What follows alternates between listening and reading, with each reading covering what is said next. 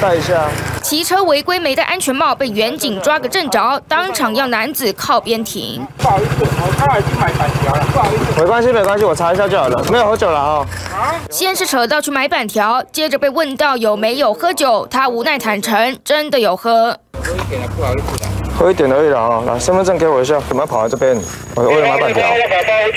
我买板条，我要给我女朋友了。事发在高雄旗山美浓地区，原来男子听到女朋友说晚上想来一份热乎乎的美浓板条，想到 Q 软有嚼劲的面条煮熟，再淋上红葱酥跟猪油的香滑口感，男子二话不说骑车出门。结果先是因为没戴安全帽被拦，然后酒测值又超标。男子说他早上十点开始喝酒，喝到下午。一点，晚上七点才出门，以为酒精已经退了。贪图一时方便，戴着鸭舌帽就直接骑车上路。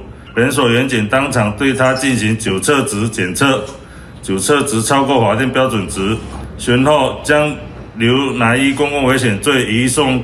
地检署侦办，喝完酒六个小时，酒测值却还有零点五二，自以为酒醒了，又因为懒得戴安全帽，侥幸心态，仍然被逮个正着。TVBS 新闻南部综合报道，掌握全球情势、国际新闻，全新选择 YT 频道 TVBS 国际 Plus，扩大视野，欢迎订阅并开启小铃铛。